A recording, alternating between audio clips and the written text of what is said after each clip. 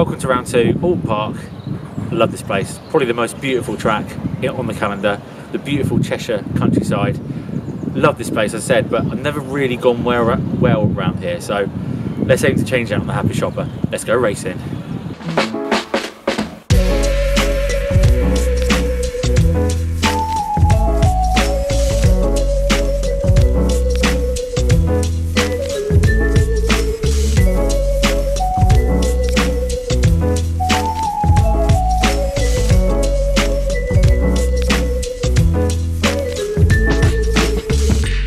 Massive, massive thank you to Pyramid Motorcycle Accessories for coming on board this year as title sponsor and allowing us to bring you these videos for you guys. Please check them out, show them some love and see what they've got in stock for your bike. Lots of Pyramid kit designed and made in the UK as well as some big name brands on offer, so go and check them out. Practice done, P11. I mean, we've got a few more ringers this week, so I'm not too disappointed with that. And I say disappointed. Rich Cooper's 1.8 seconds quicker than anyone else. So it's pretty tight. The rest of it's pretty tight. I'm happy with that. Happy enough. Had fun. But the, I got severe arm pump like you would not believe. It was the worst arm pump I've had in, well, since I last raced here probably. Even with 105 horsepower, trying to hold onto that thing round there, round here, it's it's hard work. I'm just, I'm, I'm too tight though. I need to loosen up and let things flow a bit more and let it come. So uh, let, let it come. I'm going to let it come but it's just started raining for qualifying, which has uh, upset the plan. But then tomorrow the heat races look like they're going to be wet, so might be a nice little bit of practice. Um, yeah. Take them stickers off, boy. They're paying the minge, aren't They are. Scooting here now. This is where we assess the vehicle. They don't really check too much, they just check the safety of the vehicle rather than rules and stuff. After the race and qualifying is when they check if you're being cheating or not, so sweet enough, bro. I cheated. No, Really? no, no, no, we're clean now.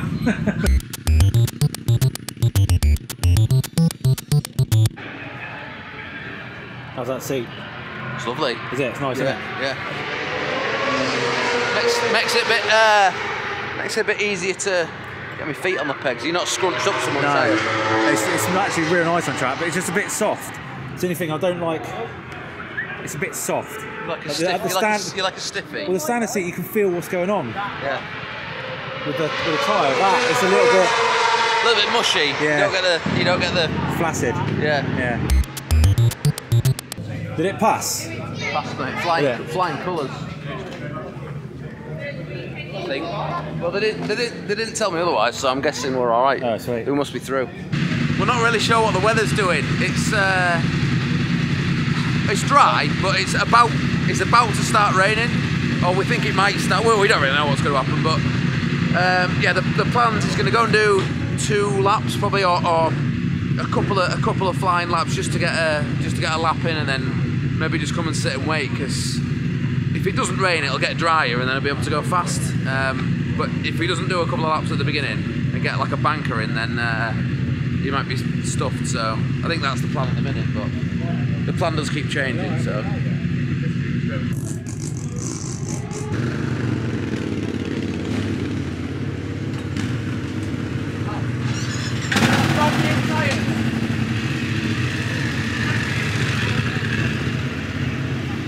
I'm gonna um, I'm gonna put the tyre warmers on these wets, so that if it, in case it comes in, if it starts raining um, and he comes in and wants wet tyres, at least they've got a little bit of warmth on them, rather than stone cold.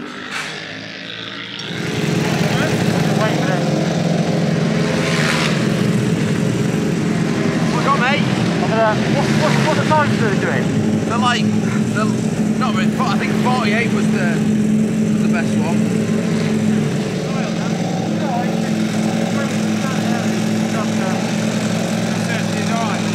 Yeah, yeah, yeah.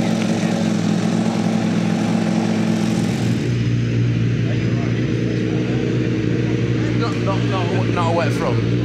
No, no. It's just really like some greasy, like it's greasy going into um, Lodge. Yeah. But look, it's shiny and you can see the lines. Yeah, yeah, yeah. What, what's he doing?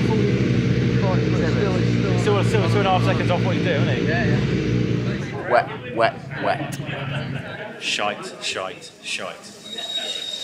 Clammy. It's a clammy, Clammy. day.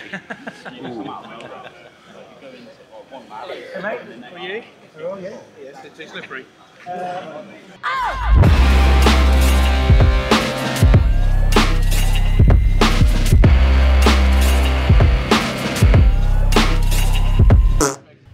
it's safe to say that didn't go to plan. My fuck up. I messed up. Um, went out. Everyone went out really quickly because we didn't know whether it was going to dry or get drier or wetter. And put a banker in.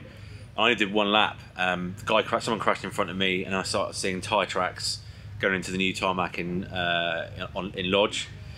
Um, I thought, you know what, that's enough. I'm, I'm the first to admit I'm rubbish. I'm shite when it comes to uh, riding in the rain, and it wasn't even that hard. But the the rain flags were waving, which means there's a the marshals think there's a significant um, uh, difference in grip from dry. So yeah, I'm I'm just uh, certainly at my age. I've never been good at it, and certainly at my age, I'm not going to get any better at it. So um, yeah, played it safe.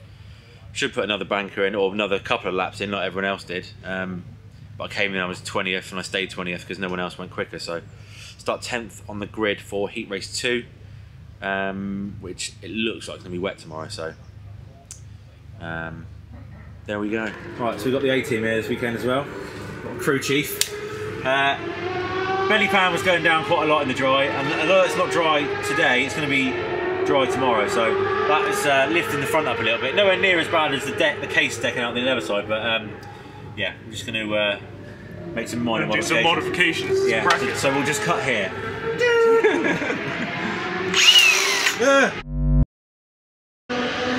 well, it's wet, dry, wet, dry. We've got front wet at the moment. It's only eight laps, so the rear's out, and we just got the others on warmers just in case. But I mean, it's it's still piss wet, but it's drying quite quickly, and there's bikes out there all the time until we're out, and we're in heat race two, so that means there's another race going on before us. So uh, don't know what to do. Decisions, decisions. We've got a front wet in, we've got a dry rear, but the track looks wetter now than it does on TV. So my sphincter's just knotting up. Rubbing nosing. I don't know what to do. Mm. Is it wet or dry? Both. Hard decision, isn't it? Mm-hmm. Is it going to go fast? Maybe. What position? At least top three or five.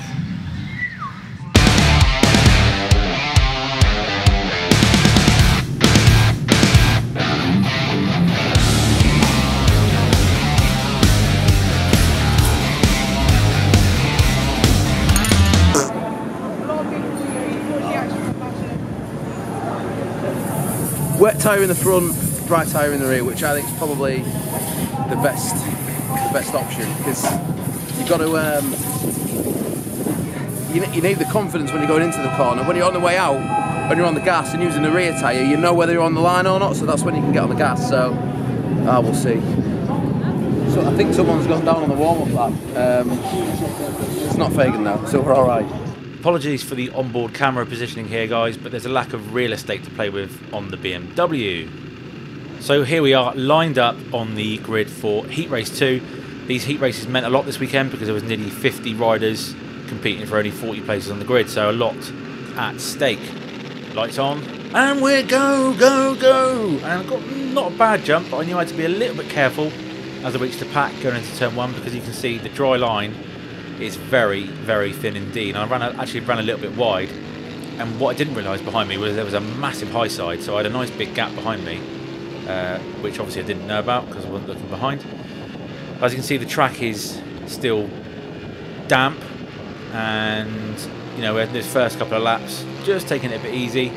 It took me three quarters of a lap to catch onto the back of Andre Compton. He's on full wet, so I knew I had to take advantage, get past him, and these Z04s working a treat straight up the inside, not an issue. And we'll just roll over, just be a bit careful of those damp patches and the white lines. Don't want to high side into the wall. And as you can see, just to sort of clarify, look how thin this dry line is. Same lap later, caught onto the back of Stephen Taylor. I thought, right, okay, I need to make the move because those leaders are getting away.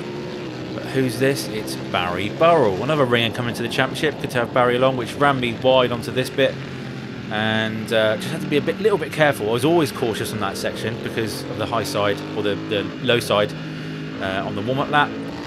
Got back onto the back of Stephen Taylor, and better drive. He's on wets again, so I knew I had to make the move straight at the inside.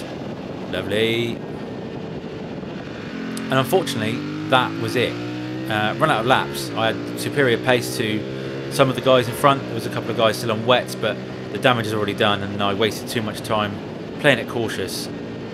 Not the best result, but seventh in the bag. Is he going to be happy? No, he's not going to be happy. Do you want to take the stand to park? Park there, mate, at that end. Do you want to take the stand up there and I'll take this trolley back on? Yes, well done, Fagan. Good job, son. I'll catch you back at the tent. After that solid performance, I came back to the awning to find some senior BMW Motorrad staff who were keen to discuss a World Superbike wildcard and a potential contract alongside Toprak for next season. Just had a little wobble around in warm up. Didn't I wasn't going to go out, but then I thought, well, the weather's not looking great, and we might need some more wet weather practice. So, little wobble around. I'm not sure on this seat. I'm not sold on the seat. I, it's really nice. Like it's higher, ergonomically much better. I just can't feel what's going on with the rear. Might switch that for the race just to throw stuff in the mix. Ready to well, not ready to race. We've got to put some fuel in. See what the weather's doing. I mean, it's looking, it's looking shite. Bit of a nip in the air as well, isn't they? I I think it's going to rain again. You think it's going to rain? I'll happily take rain as long as it's rain, not like this One or t'other. one or t'other. That's not gonna rain. It's not going to rain, is it? Well, John Ketley over there. of Michael Fish. John Ketley is a weatherman, a weatherman, a weatherman. John Ketley is a weatherman, and so is Michael Fish.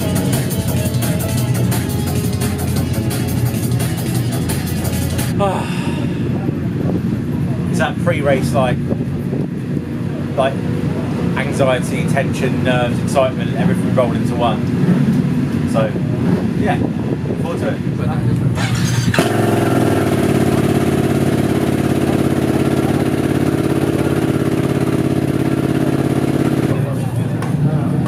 It's time to go. Come on, fags. Let's have a top ten. So here we are on the grid for the main event. Lots to play for here. Lots of uh, big money, big prize money up for grabs. A grand for the winner. And the red lights are on, and they're off, and they go, go, go. Another pretty decent jump. I was just about, to shove it up the inside of Max, and I had Andre Compton up the inside, so three into one doesn't go then. Should have been a little bit brutal, but to be honest with you, I don't know what was going on, but the bike didn't feel very good at all on these opening laps. I don't know whether the warmers weren't up to temperature properly or the the, the uh, pressures weren't right, but I just wasn't feeling comfortable at all. And as you can see here, normally strong on the brakes, Kieran Smith gets me. I'm thinking, man, I know he's good, he's quick. He had leader's pace at Silverstone at the previous round, so I knew he was a good kid to follow. Young, dumb, full of cum. I'm just regretting lifestyle choices here. Look, just edging away. Nothing I can do. Regretting my diet. Regretting the mixed grower I had the night before. Actually, no, we had a curry. Uh, but as you can see here, Kieran right up the inside of Max. Is he going to make it? Whee! Very close. I thought I could capitalise, but no. Probably best not to uh, put both of us on the floor. Get a good run out of Lodge onto the start finish straight, if you can call it that. And by this point, again, it must have been the tyres because I felt good straight away. And look at that lunge. That is what they call a lunge, my boys and girls. Uh, and I knew, again, the bike felt good straight away. So I right up the inside of Andre Compton. And on the same lap, I've got Max in front of me. Great drive out. And these Z04s, honestly, I don't know why a lot, none of the others, or there's not a lot of others running Z04s, because I mean that was just easy, and I could do this all race long. So next on the list are these two, James and Dom Herbertson. And as you can see, James goes up the inside of Dom, which scuppers his exit for the left. Thank you very much. Cheers, Dom Herbertson. Lovely. So Max, I made a little mistake just on that previous lap, and Max McRae got past me again, and I think this could be one of my bolshiest uh, moves ever. Max just playing defensive, but no chance, mate. Round the outside and then puts me on the inside line for the left. Now we've got James Nagy in front. Naj, I'm not sure how to pronounce your name, mate. A little look back there. Thought, oh, can I do it? No, that is that is a ballsy move and one that I thought best not to proceed with. I knew the the gap, the guys in front were sort of gapping me a little bit, and these guys were holding me up. So I knew I needed to make the pass. Late that lap, my one of my favourite places. Again, super easy up the inside. I managed to pull a second from the pack behind me over the next four laps. Was edging closer to the battle for fifth, even though I probably wasn't going to catch them, and thought I'd done enough for a top 10 cashback finish.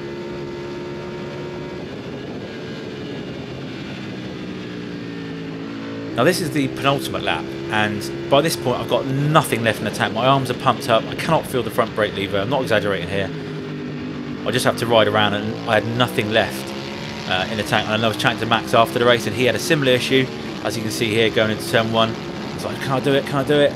But he braked super late and then he had the same issue. Bit of arm pump, runs wide and then that kind of fucks both of us up. So and into Cascade, Stephen Taylor comes by us. I'm thinking, oh man, I want that. I want that top ten. I want that prize money, but I just cannot do anything about it. Max runs wide, hitting the uh, the the water.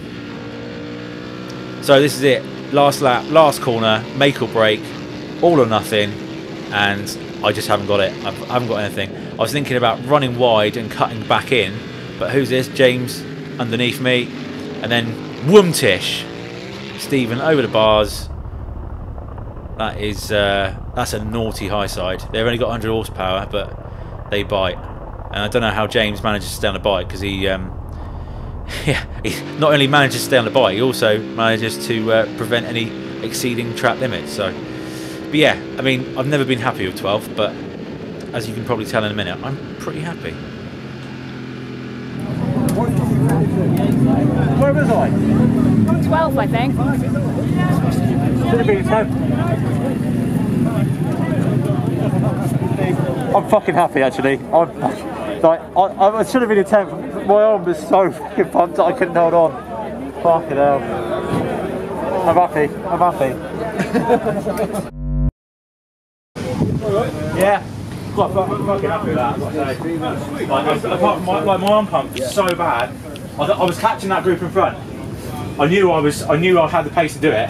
And then make the last two laps. I fuck, just feel that now. Like feel the. Useless. I could like it's proper like Useless. oh I'm gonna hit him. Apart from the arm pump, if I if I can get up the grid a bit more, those guys in front of me, I know like that. What was it? Sixth to Yeah, yeah. What, He fifth? was doing- he doing like- he was doing the Huh? same. did fast laps going like eight. Yeah, no, I know. I, I, I, was catching. I lap- knew I was catching. nearly and all Yeah. Same lap time. Was it good? Yeah. Cheers, cheers all. Thank you. Thank you. Good fun. I know we don't go race to finish 12, but that was fucking brilliant. But if, if you had made it turn twice, you could have watched uh, 11. oh yeah, easy as that. Yeah. If you'd have gone faster, you'd have won. Yeah. We're off, mate. yeah. So, mate, thanks for your help. Well done. Bye. Right, let's do it. Slay. I've never, I've never been happy with 12, but that was fucking cool. And uh, I promised the kids that if we got a top 15, then we go on the waltzers. So here we are. There's only one who can rule the night,